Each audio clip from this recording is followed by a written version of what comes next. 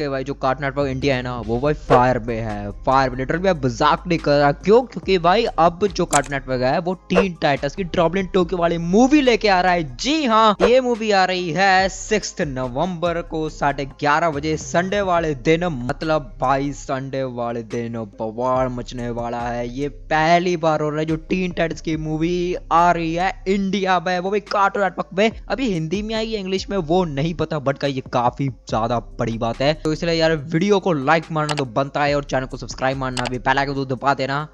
bye bye